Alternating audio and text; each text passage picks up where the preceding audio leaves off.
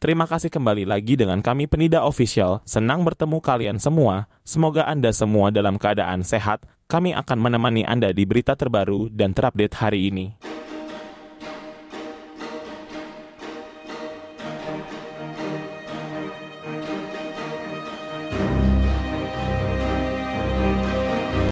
Satu keluarga tewas dalam mobil yang terjebak lumpur di Jalan Dusun Limbur Baru dalam kurung SP5, Kecamatan Limbur Lubuk Mengkuang, Kabupaten Bungo, Jambi.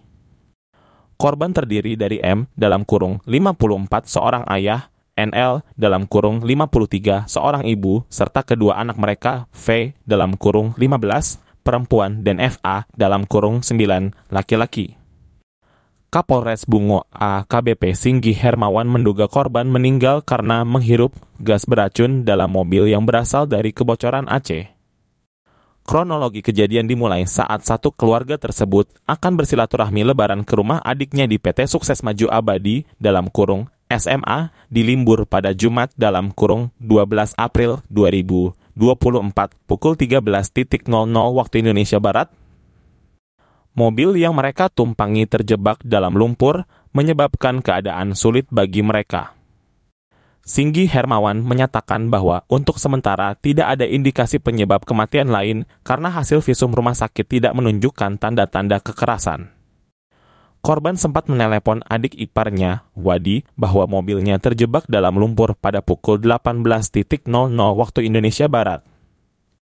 Dua jam kemudian, sekitar pukul 20.00 waktu Indonesia Barat, Wadi menemukan mobil korban terperosok dalam lumpur di jalan milik perusahaan sawit PT Sukses Maju Abadi dalam kurung SMA. Wadi menyaksikan mobil dalam keadaan hidup dengan kaca depan tertutup dan kaca belakang terbuka sekitar 5 cm. Saat membuka pintu kiri belakang, dia menemukan keempat anggota keluarga sudah meninggal. Wadi segera melaporkan kejadian tersebut ke Polsek Limbur Lubuk Mengkuang.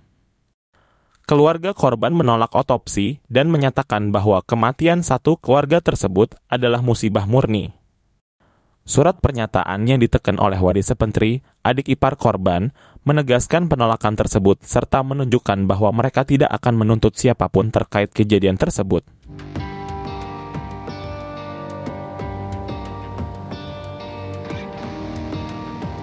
Demikianlah berita kali ini. Kami dari Penida Official mohon undur diri dari hadapan Anda.